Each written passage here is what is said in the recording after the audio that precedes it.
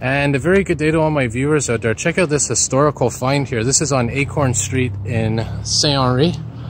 And what you're looking at right here are railroad tracks from the old tram cars, the old rail lines that used to run through this neighborhood uh, quite a while ago.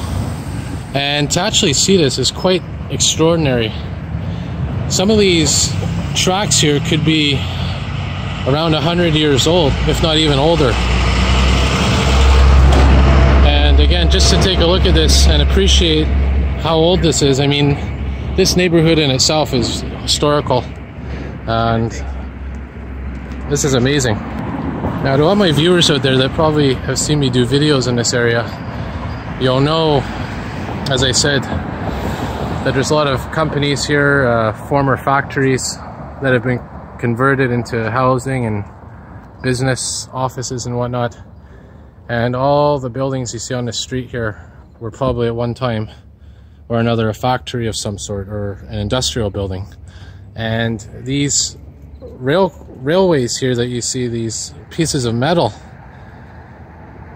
that of course, as I said, were railway tracks at one point, were a very important part of this neighborhood.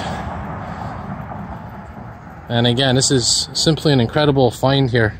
And I guess they're digging up the street. So we're gonna have to see what's gonna happen with this.